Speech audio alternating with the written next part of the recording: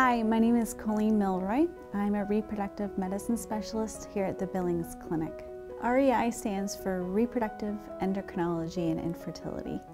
It's a subspecialty of OBGYN where we have not only trained as a general OBGYN, but we've done three extra years of training and investigation dealing with a couple's infertility. I'm Dr. Stacy Shomento. I'm a board certified reproductive endocrinologist with the Billings Clinic and also with Bozeman OBGYN in Bozeman, Montana. In Montana, we're very fortunate to be able to offer full spectrum infertility services. Whatever you can get done in a big city, you can really get done in Montana. We can do things as simple as just doing an evaluation to find out what the problem is.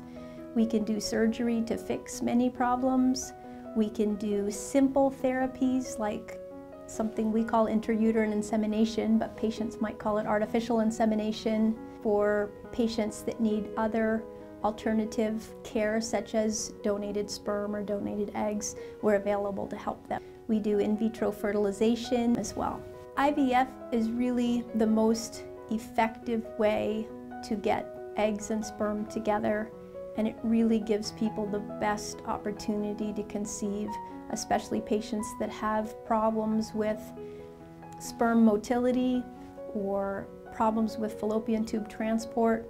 Those types of problems are very difficult with natural conception. But if we can get the eggs and put them right next to the sperm or right together, that really evens the playing field. And that's why IVF is so effective at overcoming a lot of fertility barriers. There have been a few advances in our field that allow us to offer patients genetic testing. We not only offer patients genetic testing before they conceive to see if they're carriers of major diseases, for example, cystic fibrosis, where one in every 32 Caucasian women is a carrier for it, we can now test that couple to make sure we can mitigate that carrier status. The second part of genetics that we are able to offer now includes testing embryos. This includes pre-implantation genetic diagnosis, where we test for specific genes that are abnormal inside an embryo. We can also screen an entire embryo for its baseline genetics, so its baseline chromosomes can now be tested before we place them back inside the uterus. This is called pre-implantation genetic screening of the embryo.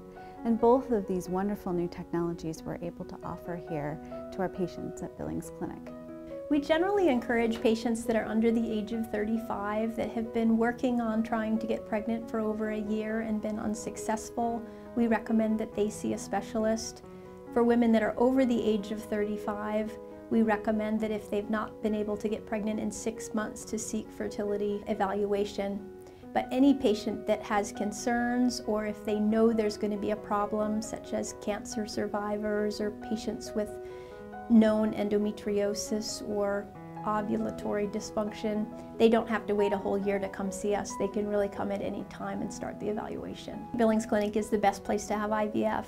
We are very fortunate to have a state-of-the-art lab and we have world-class embryologists and doctors here we bring our embryologists in from multiple places in the United States and everybody comes together to take good care of the patients. For me, it's especially rewarding because our numbers are smaller than in very large metropolitan areas.